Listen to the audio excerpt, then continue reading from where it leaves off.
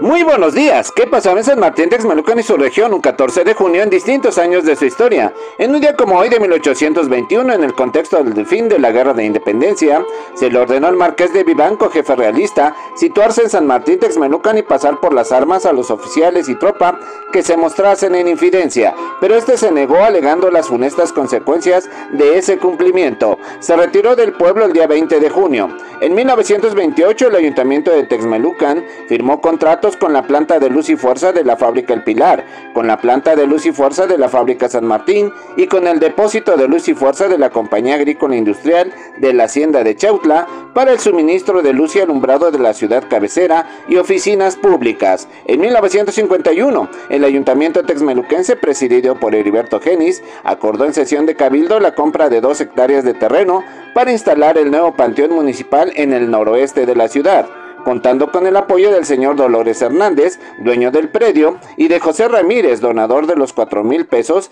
que costaría la compra. En 1966, el comité organizador de los Juegos Preolímpicos convocaron al primer campeonato municipal de básquetbol infantil y juvenil a jugarse en la cancha del Centro Escolar Benito Juárez de la ciudad de San Martín Texmelucan de la Bastida. Y en un día como hoy de 1968, el gobernador del estado, Aarón Merino Fernández, facultó a Ismael Rondero López, presidente de Texmelucan para dar cumplimiento al decreto que incorporó a la ciudad de San Martín a la colonia El Chamizal y al fraccionamiento El Tabaco ubicados en predios de la ex hacienda de San Cristóbal Polazla para que fueran administrados y asistidos. Esto pasaba en San Martín Texmelucan y su región un 14 de junio en distintos años de su historia.